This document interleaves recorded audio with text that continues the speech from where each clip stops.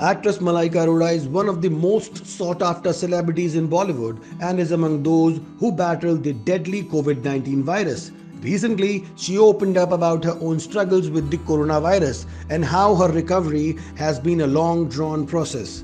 While revealing that her mild COVID 19 case affected her physically as well as mentally, she said, Last year in September, I tested positive for COVID 19. After three weeks of home isolation, and thanks to my wonderful doctors, I recovered.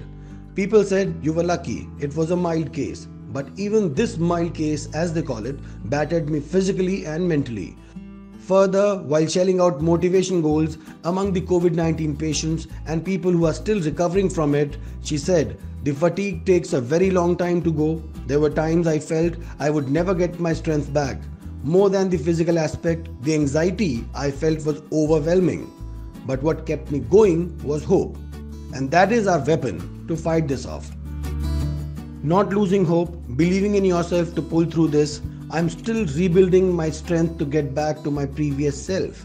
But I am not giving up, and you must not.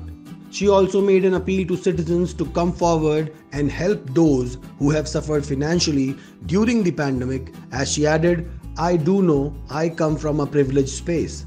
Families in India have been driven to financial ruin as they battle this health crisis.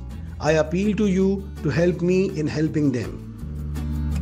Well, Malaika Arora was tested positive for COVID 19 last year on 5th September. And in one of her conversations with a news portal, she opened up about her recovery and said, Anyone out there calling a COVID recovery easy is either blessed with great immunity or isn't aware of the struggles of COVID.